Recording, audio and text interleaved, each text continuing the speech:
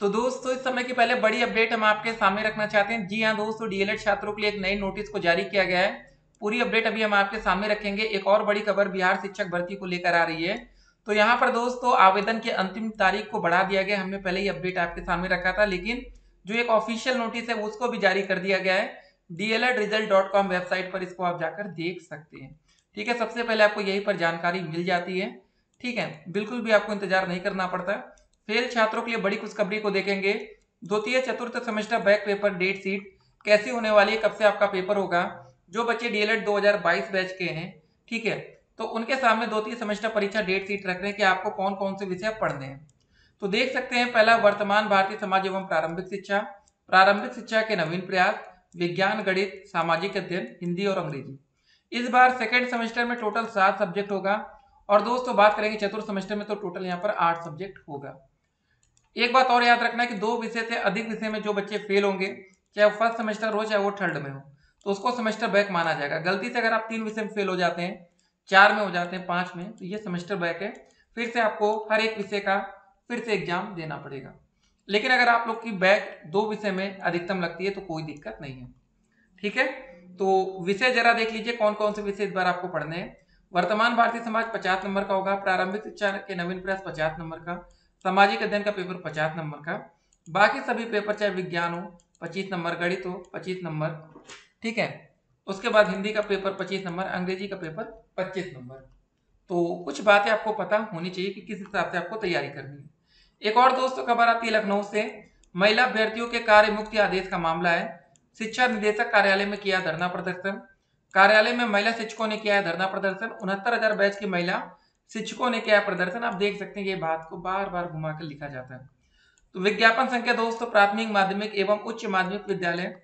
शिक्षक नियुक्ति प्रतियोगिता परीक्षा के ऑनलाइन आवेदन भरने की अंतिम तिथि 12 सात 2023 को विस्तारित करते हुए दिनांक 15 सात 2023 तक की जाती है। तो आवेदन की जो लास्ट डेट है वो क्या कर दी गई? 15 जुलाई कर दिया गया। तो तुरंत आप लोग आवेदन करिए, समय मत लगाइएगा। ठीक है? तो थोड़ा सा डॉक्यूमेंट्स में देखिए फॉर्म बड़ा ही आसान है। ठीक है, लोग इसको क्रिटिकल बना रहे कठिन बना दे रहे हैं। वो क्या रहा है ना? इसमें जैसे आप लोग साइबर कैफ़े में जाते थे, अपना फॉर्म या अपने डॉक्यूमेंट्स दे देते थे, सब कुछ हो जाता था। लेकिन इस बार दोस्त, आपको यहाँ पर सब कुछ खुद से करना है। मतलब ये कि जो आपका सेल्फी मोड में फ़ोटो ली जा रही है, ऐसे क्या रहता था? आप लोग अपनी फ़ोटो सिग्नेचर भेज देते तो वो अपलोड हो जाता था। ठीक है तो थोड़ा सा परिवर्तन कर दिया गया, इस वजह से बच्चे परेशान हो रहे हैं। लेकिन कोई बहुत कठिन काम नहीं है तो इसको लेकर आपको परेशान होने की ज़्यादा ज़रूरत नहीं है।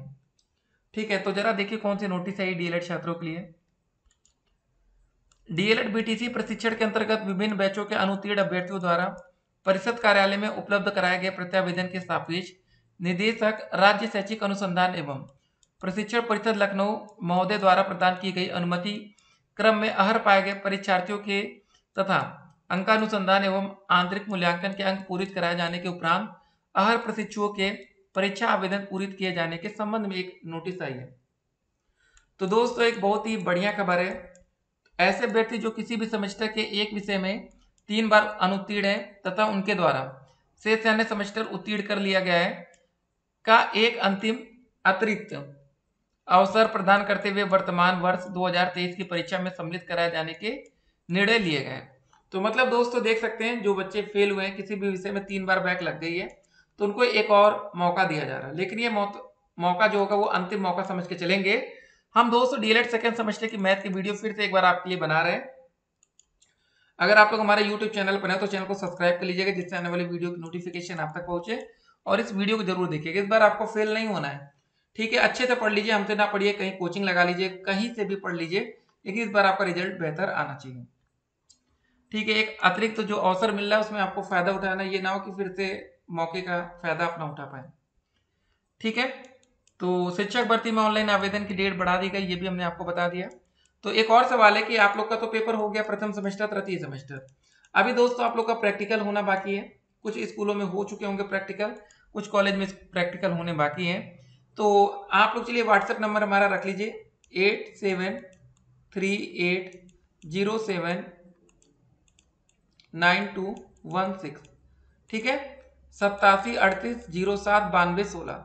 इस पर आप लोग व्हाट्सएप पर मैसेज कर सकते हैं, जैसे कि आगे की कुछ वीडियो की लिंक हो या ठीक है सेकंड सेमेस्टर की जो नई वीडियो बनेगी सेकंड और फोर्थ की, वो वीडियो हम आपको प्रोवाइड करा पाएँगे।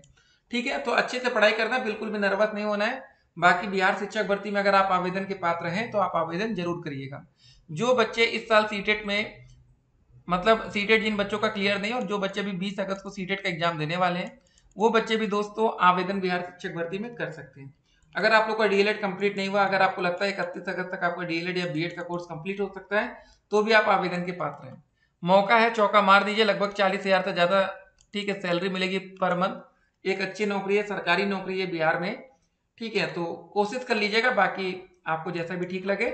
चलिए दोस्तों, मिलेंगे एक और वीडियो में, बाकी जो भी अपडेट आएगी, प्रत्यावेदन की अपडेट हो या शिक्षक भर्ती के परीक्षा डेट सीट के, वो अपडेट हम आप तक पहुंचाएँगे। फिर मिलते हैं स्टे कनेक्टेड और डी एल गूगल पर सर्च करके अधिक जानकारी आप इस वेबसाइट से प्राप्त कर सकते हैं। Have a nice day